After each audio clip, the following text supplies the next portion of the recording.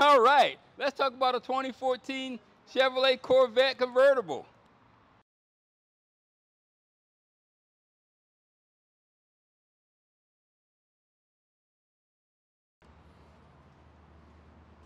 Six point two liter V8 engine, 455 horses to get you to get you there quick.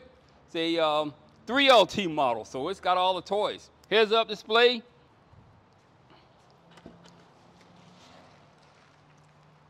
Adrenaline red interior.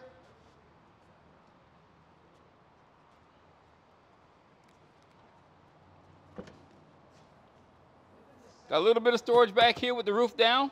You can put some stuff in there. Quad exhaust. Memory seats in this vehicle. Easy exit option. Heads up display. Power tilt and telescopic wheel. Paddle shift. Shift your own gears in the car.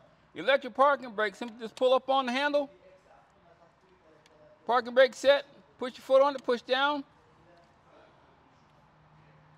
Parking brake is now released. Let me start this thing up here. Radio screen opens up, USB port behind the radio screen.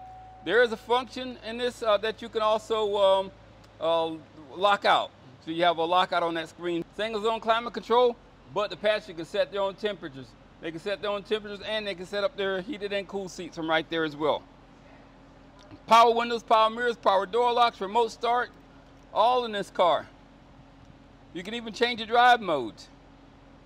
Touring, sport, and your track mode. And those last two modes, they'll open the baffles up, give you a deeper, richer sound.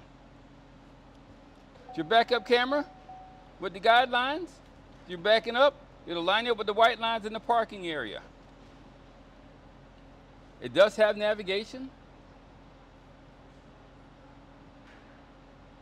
There's your nav. It does have again the heated and ventilated seats up front. Oh, it's a nice car. It's got, I mean, this is the car. If you're ready to go to Daytona or ready to just take a, a, a little trip up uh, uh, A1A to um, uh, um, St. Augustine with the top down, I don't have any hair to blow in the wind, but you know what I mean. Come see Glenn at George Moore Chevrolet. Let's put you in this baby.